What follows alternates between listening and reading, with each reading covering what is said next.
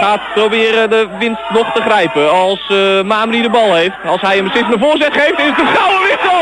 Wat een fantastische goal van Maurice van der Wild. En hij heeft die trainer gewoon gelijk. Hij denkt dan, de, hoe doen we Mamri linksbuiten? Zijn eerste actie is een fantastische voorzet. En de volley van Van der Wild. Een plaatje. Wat een wereldgoal van Maurice van der Wild. En Sparta pakt de voorsprong. Zes minuten voor tijd. Gouden wissel, Simon Ouali.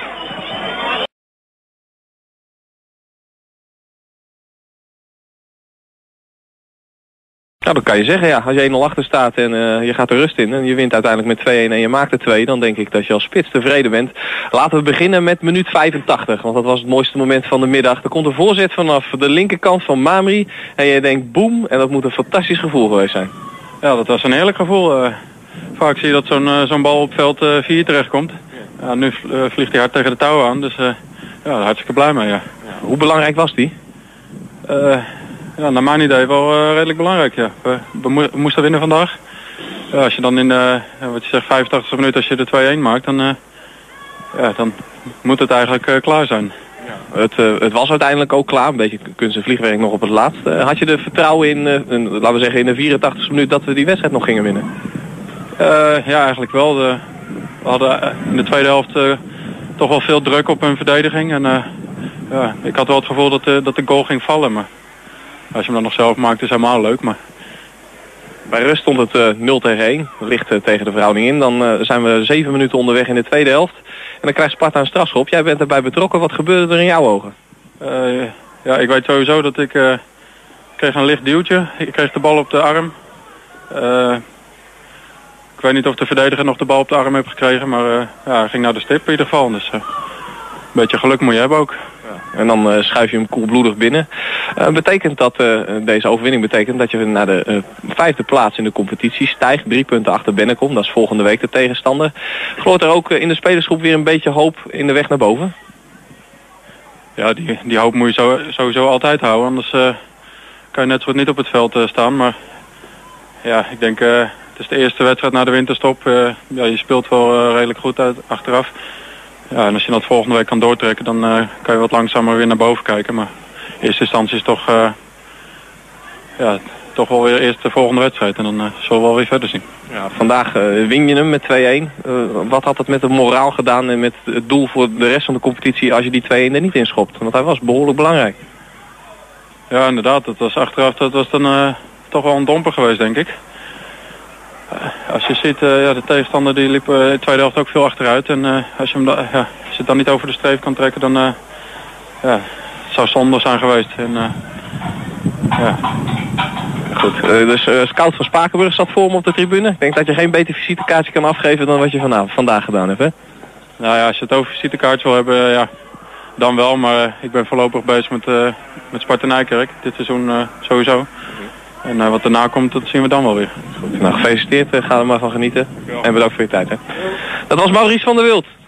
Hij zal gelukkig zijn met uh, zijn rol van vanmiddag. Twee doelpunten, waarvan de tweede een plaatje was. De voorzet was van Mamri en snoei en snoeihard met zijn linkerbeen in de volley was het kassa. Betekent drie punten voor Sparta Nijkerk. En zoals Maurice van der Wild al aangeeft, drie hele belangrijke punten. Daar gaan we het straks over hebben in de nabeschouwing.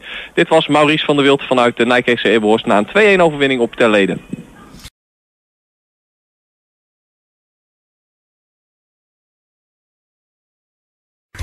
Ja, Sparta Nijkerk tegen Terleden was de nummer 8 tegen de nummer 6. Wat dus inhield dat als Sparta Nijkerk vandaag de punten op de eigen zou houden... dat de Nijkerkers het linkerrijtje zouden bereiken. Sparta Nijkerk begon redelijk aan het duel, maar tot echt grote kansen. Nee, daartoe kwamen de Nijkerkers niet. Het was wel uh, Sparta Nijkerk dat op voorsprong leek te gaan komen... toen Rashid Mahmoud de bal tegen de touw werkte, maar dat opzichtig met de hand deed. En dus ging dat doelpunt niet door en bleef het lang 0-0. Vijf minuten voor rust was er als een duvel uit het doosje Bushin Horen. Die feitelijk de eerste kans van Terleden Leden ja, wist te verzilveren. Hij kwam oog in oog met Kevin Rijntjes en bleef rustig met binnenkant voet schoof hij de bal tegen de touwen. En zo stond het 0 tegen 1 bij rust door de topscorer van Terlede. Bouchinoren dus als doelpunt te maken na rust, waarin Sparta Nijkerk twee keer had gewisseld.